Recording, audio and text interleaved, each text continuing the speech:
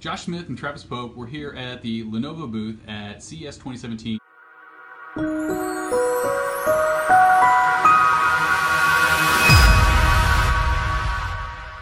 And we're checking out the Lenovo Legion Y720 gaming laptop. And the reason that you're seeing Travis here modeling the HTC Vive is because this is VR ready.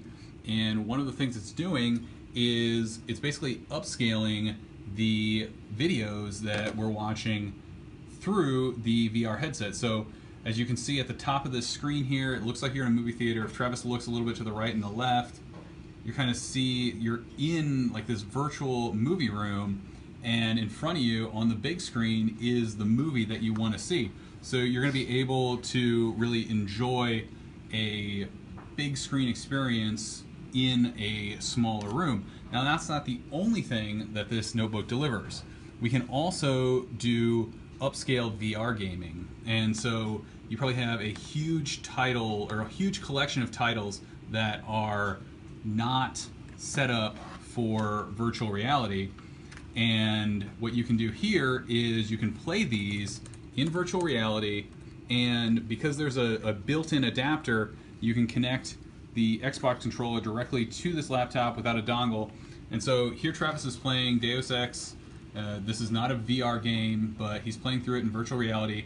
And where he turns his head is where he's going to look on the screen, and then he can fire and perform other controls using the Xbox controller in his hand.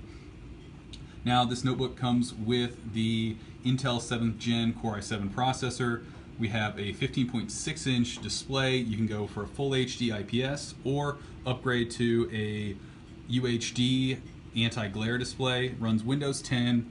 You can configure this with up to an NVIDIA GTX 1060 with 6 gigabytes of GDDR5. And you have up to 16 gigabytes of RAM. You can go all the way up to a 1 terabyte PCIe SSD and a 2 terabyte SATA hard drive. You got up to five hours of battery life, which is pretty impressive for a gaming notebook like this.